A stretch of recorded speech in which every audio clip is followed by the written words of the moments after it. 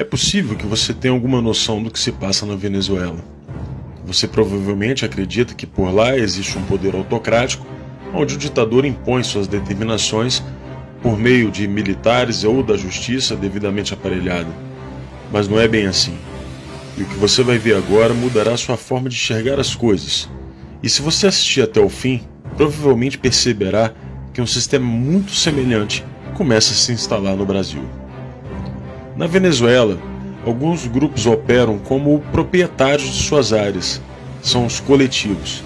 A primeira função do coletivo é defender a Revolução Bolivariana, e para isso eles dispõem de todo tipo de armamento e equipamento necessário para atacar qualquer um que se oponha ao modelo, ou seja, para atacar os reacionários. Esses grupos impõem uma espécie de disciplina dentro de seus territórios. Eles têm um código de honra próprio.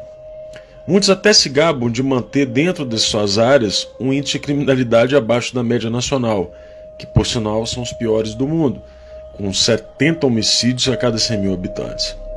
Existem centenas de coletivos, todos eles armados com rifles portáteis, granadas, e dois deles, os Carapaicos e Tupamaros, receberam treinamento militar dos guerrilheiros das Farc colombiana. Além disso, eles têm relações estreitas com outras gangues paramilitares, como os Los Rastrojos, também da Colômbia, que lhes fornecem armas. Esse grupo colombiano vive em conflito com o Exército de Libertação Nacional da Colômbia, que já se faz presente em 10 estados venezuelanos. O conflito entre essas organizações é uma constante, a disputa por territórios, muito parecido com o que acontece no Brasil. O governo venezuelano sustenta esses grupos por meio de planos sociais, concede recursos para seus projetos culturais e são eles que cuidam da distribuição de alimentos, entre outras benesses, naquele ambiente de fome e miséria. Enquanto mantém a sua fachada social, esses grupos atuam no tráfico de drogas, roubo de automóveis e outras ações características do crime organizado. Quem começou tudo isso foi Hugo Chávez, que financiou e permitiu que esses grupos crescessem nos bairros pobres do país.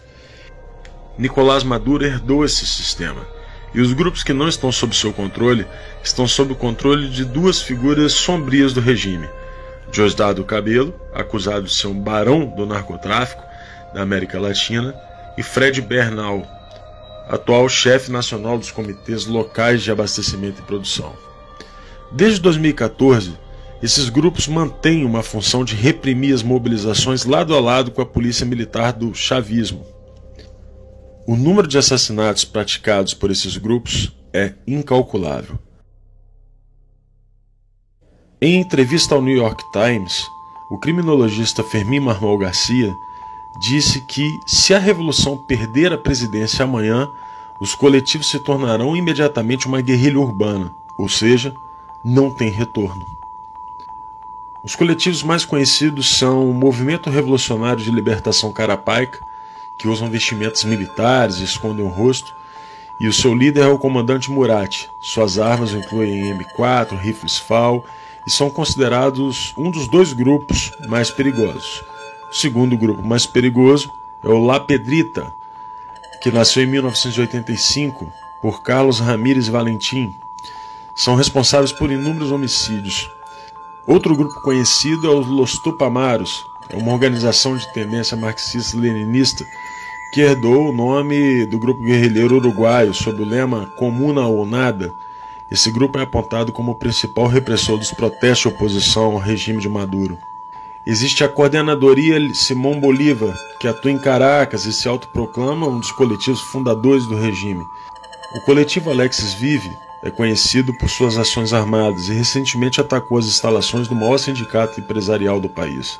O último grupo é o Grande Polo Patriótico, criado em 2011 e formado por 28 conselhos setoriais, que possui 10.810 mini coletivos. Como você pode perceber, o sistema de dominação do povo venezuelano não pode ser revertido por um sistema eleitoral simples ou pela queda de Maduro. A melhor definição do que aconteceu por lá foi feita por Lech Walesa. Segundo Walesa, fazer o socialismo é fácil. É como fazer uma sopa de peixe de um aquário. Basta aquecer a água, não precisa nem temperar, as plantas já estão lá dentro. Fazer o contrário, criar uma sociedade livre a partir do comunismo, é como fazer o aquário utilizando uma sopa de peixe. Isso é complicado.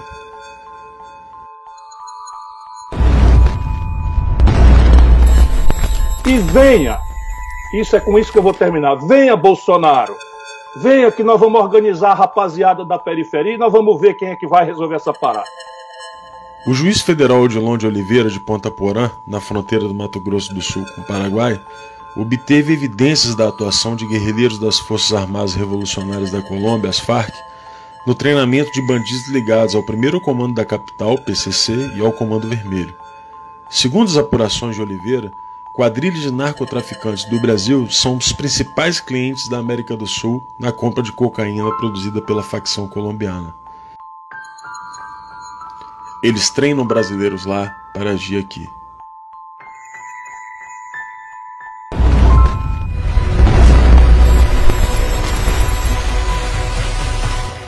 A revolução do proletariado já está em andamento do Brasil. O proletariado, esse produto passivo da putrefação das camadas mais baixas da velha sociedade, pode às vezes ser arrastado ao movimento por uma revolução proletária. Todavia, suas condições de vida o predispõem a vender-se à reação. Karl Marx. Você consegue se lembrar do Brasil antes de 2002? Pois é, não existiam cracolândias por aqui. A partir da vitória de Lula, a droga derivada da cocaína tomou conta do país, escravizando um número imensurável de brasileiros. Tais indivíduos são capazes de lutar com maior coragem, mas são propensos a ações destrutivas. Conduzidos de maneira correta, podem converter-se numa força revolucionária. Mao Tse Tung, em Análise das Classes Sociedade Chinesa. Franz Fanon é um teórico marxista muito conhecido entre as esquerdas. Seguidor do maoísmo, é proponente de uma revolução mundial, razão pela qual ações muito semelhantes acontecem em todos os lugares onde o comunismo possui seus tentáculos. É dentro dessa massa da humanidade, esse povo das favelas, do núcleo do lupesinato, que a rebelião vai encontrar o seu ponta de lança urbano. Venha, Bolsonaro! Venha que nós vamos organizar a rapaziada da periferia e nós vamos ver quem é que vai resolver essa parada. Este lumpen proletariado é como uma horda de ratos. Você pode chutá-los e jogar pedras neles, mas, apesar de seus esforços, vão continuar roendo as raízes da árvore. O lumpen proletariado, uma vez que é constituído, traz todas as suas forças para pôr em risco a segurança da cidade. E é o sinal da decadência irrevogável a gangrena sempre presente do coração do sistema colonial. Aqui no Brasil, a gente reagiu. Fomos às ruas e exigiu o fim de um governo que estava corroendo a nossa sociedade por dentro.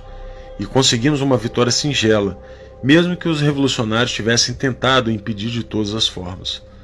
Acontece que a revolução lumpen-proletariada estava em andamento por aqui e não será fácil reconstruir um aquário a partir de uma sopa de peixe deixada pelo petismo. Você então se pergunta como podem haver banqueiros, artistas, intelectuais e membros da elite que não conseguem perceber esse tipo de situação e ainda assinam manifestos junto com Ciro Gomes, que, como já vimos, tem exata noção do que está acontecendo. E para isso, Karl Marx também tem uma explicação.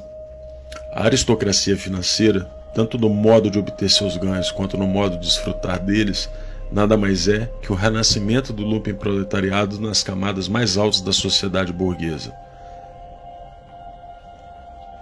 O lumpen proletariado não está limitado aos drogados, bandidos, famigerados da classe marginalizada. Estão nos poderes, nas corporações, na mídia e no judiciário.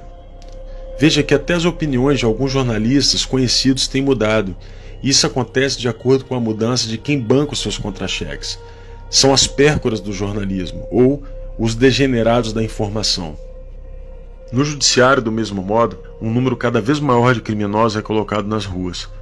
Parte deles para alimentar a massa revolucionária e outros vinculados justamente aos grupos que tratamos há pouco. Tudo isso é feito às claras. Não existe segredo. Preciso que a gente denuncie isto. Que a gente anteveja esse tipo de manobra. Porque não se pode fazer isso com o Supremo Tribunal Federal. Ah, agora eu vou dar uma desperto e vou conseguir a decisão do aborto. De preferência, com, na, na, na turma com dois, com três ministros. Aí a gente faz um dois a um. E deixa de fora desse seu mau sentimento. Você é uma pessoa horrível. Uma mistura do mal com atraso e pitadas de psicopatia. Isso não tem nada a ver com o que está sendo julgado. É um absurdo, Vossa Excelência, aqui fazer um comício cheio de ofensas, grosserias. Vossa Excelência não consegue articular um argumento, fica procurando. Já ofendeu a presidente, já ofendeu o ministro Fux, agora chegou a mim. A corrosão do Conselho de Justiça da nossa própria Carta Magna atende ao conceito de revolução lumpen. Afinal, a disciplina e os códigos de honra, como já vimos, terão que ser aplicadas por grupos criminosos ao fim da conclusão do processo revolucionário. Agora que você já sabe qual é a situação que nos encontramos, eu faço um pedido. Não desista do Brasil.